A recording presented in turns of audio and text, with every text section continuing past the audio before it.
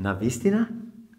Вака реагираме кога некој ќе ни каже нешто на прв поглед што не ни се верува.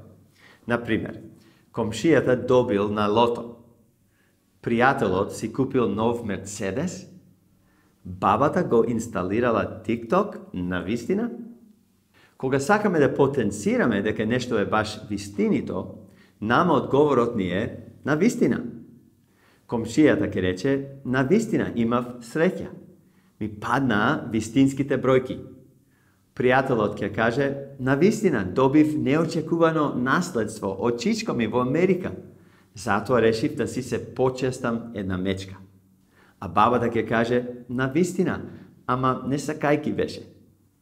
Ние, христијаните, барем два пати годишно, на Божик и Великден, го користиме зборот на вистина како поздрав.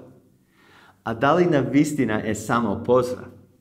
Исус се роди, на вистина се роди. И Исус воскресна, на вистина воскресна.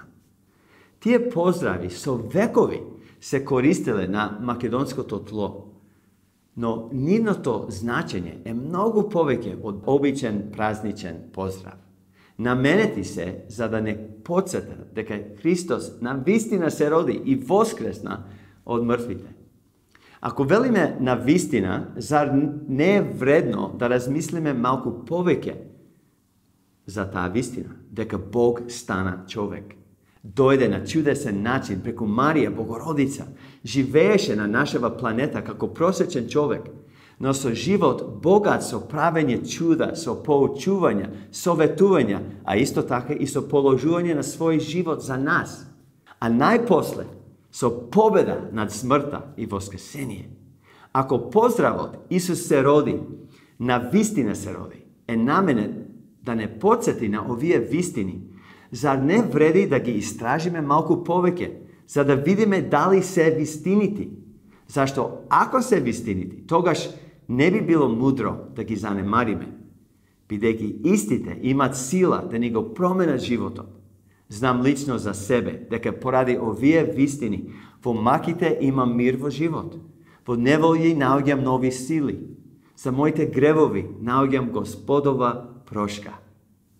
Ние не сме како бабата која инсталирала TikTok, а не знаела како.